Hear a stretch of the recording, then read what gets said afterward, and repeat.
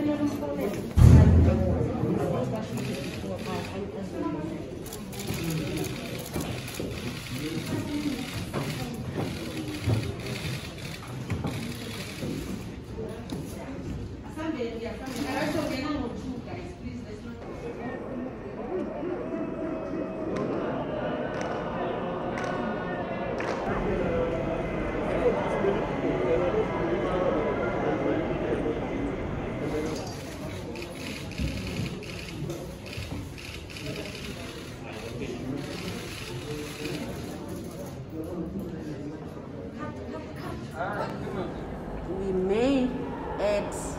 Other charges as in when uh, people come up.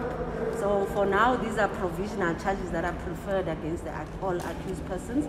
So as in when information comes up and there are people, more people who are willing to give more statements, uh, the, the charge can be amended.